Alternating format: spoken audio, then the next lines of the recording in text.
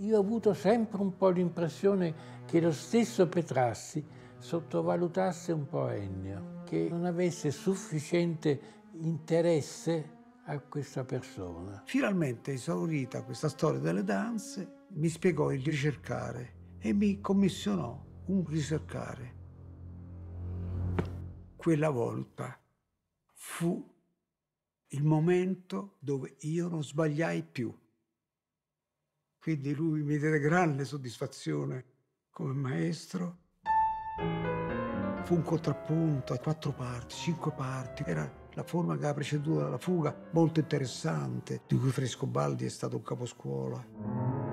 Lui, un secolo prima di Bach, faceva degli accenni di contrappunto, di due melodie insieme. I famosi dieci anni con Petrassi sono quelli in cui il maestro è stato nutrito a pane e palestrina, pane e Monteverdi, per cui il contrappunto lo conosce come nessuno al mondo.